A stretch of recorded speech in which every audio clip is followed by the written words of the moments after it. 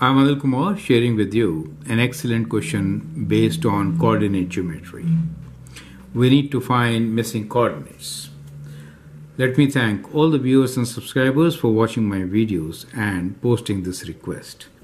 The question here is ABCD is a rhombus. Point B is 210, D is 62, A lies on x-axis. Find the coordinates of point C, right? So we have B and D, which is diagonally placed, and A and C is also diagonal. So the diagram could be drawn kind of like this. It's a rhombus, right? So, so let's say diagram is kind of like this. Just an approximate diagram. So what we are saying here is that B, this point B, is 210. And so if I take this as B, uh, uh, D is 6, 2. So D is opposite to it, which is uh, 6, 2. A is on the x-axis. Let's take this as A. On the x-axis means y coordinate is 0, right? So let me call this as A0. And then we have a point C here, A, B, C, D. Let's call this as xy correct now the idea is to find coordinates of point C. Perfect. Now when we are saying it's a rhombus that means uh, all the sides are equal correct? To find the coordinates of A we can use the concept that AB is equal to AD the length right? So so we know that the length of A to B is equal to the length from A to D. So that should give us coordinates of A. Length is, uh, you know, the formula, distance formula, which is square root of x2 minus x1 whole square plus y2 minus y1 whole square. So that formula can be used. We could actually square and then compare also. So no need to square root. Okay.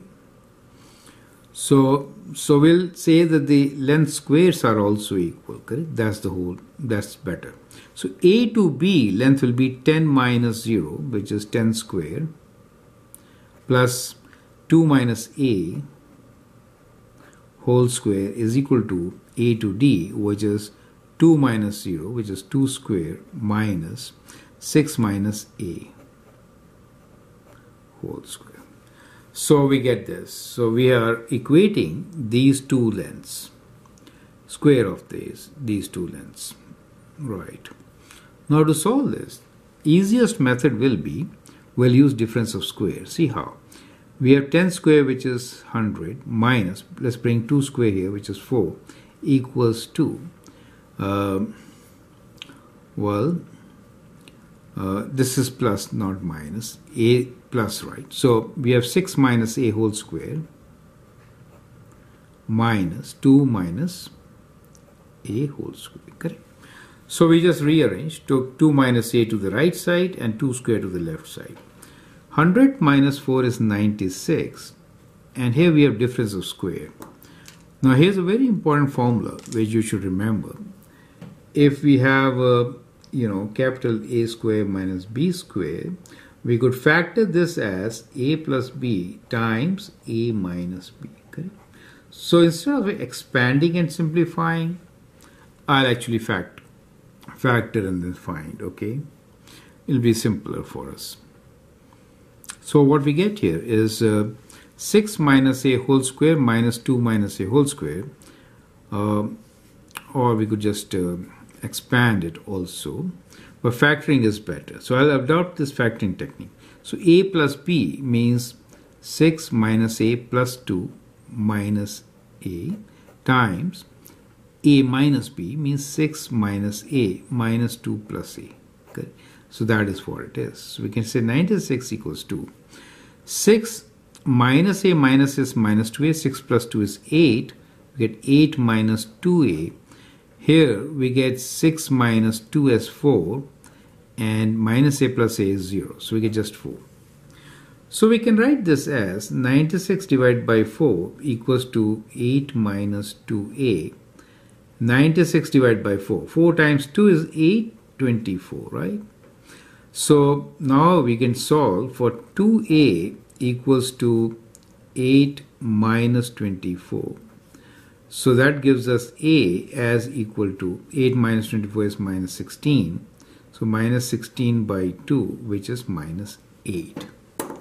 So we get the value of a as minus 8. So the coordinates for a are minus 8, 0. Clear? So we got coordinates of a. Now we need to find coordinates of c. Now we could use the concept of slope since the slope is right. These two are parallel lines, correct? So we know the slope of from A to B is same as slope from D to C. Slope from A to B is 10 minus 0, right?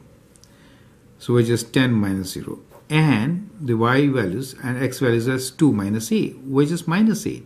So 2 minus minus 8. Slope from D to C is y minus 2 over x minus 6. Now this gives us 10 over 2 minus means 10 over 10, right? This becomes 10 equals to y minus 2 over x minus 6. Correct? So we can equate separately y minus 2 as 10 so we get y minus 2 equals to 10, so y is equals to 12. And we have x minus 6 equals to 10, x equals to 16. And that gives us the coordinate points of point C as 16 and 12, right? Do you see this idea, right? So that's a brilliant idea. We could always write this as 16, 12. So coordinates of point C are 16, 12. So we just equated the numerators and the denominators and got our answer. Does make sense to you, right? So minus 8 to 2, right? So from minus 8, we are going to 2. That means 10 more. So 6 plus 10, right? And as far as the y values, they are also 10 more. So plus 10 gives us this result. Do you see that? Which is very clear. So that is how we actually find the solution. So we say that coordinates of point C are 16, 12. So I hope you find this interesting and useful. Feel free to write your comment, share your views, and if you like and subscribe to my videos, that'd be great. Thanks for watching and all the best.